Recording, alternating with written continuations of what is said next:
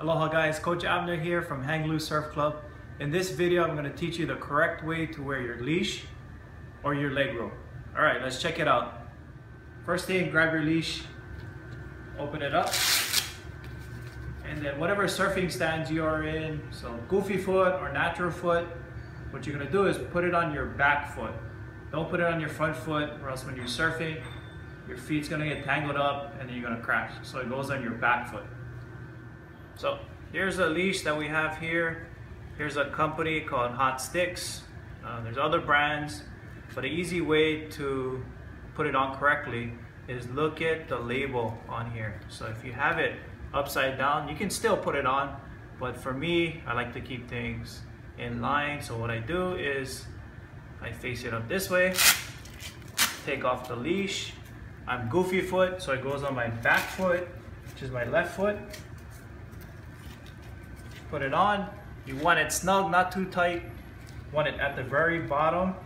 So when I stand up to surf, it's in the back, just like this. Common mistakes I see is that they put it on the inside. So when they surf, they get tangled up. Or it's too loose.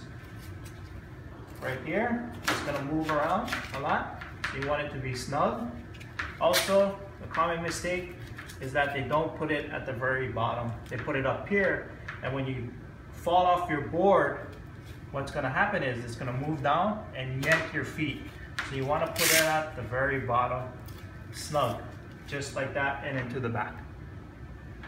Thanks for watching my video, guys. If you have any questions, please comment below. If you want more tips and tricks about surfing in Maui, please subscribe. I'll be putting up more videos.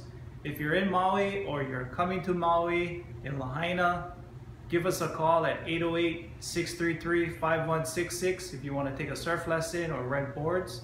Or if you want more information, check us out at hangloosesurfclub.com. All right.